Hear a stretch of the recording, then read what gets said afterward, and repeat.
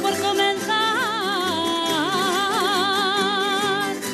Comienzo porque ha salido la flor de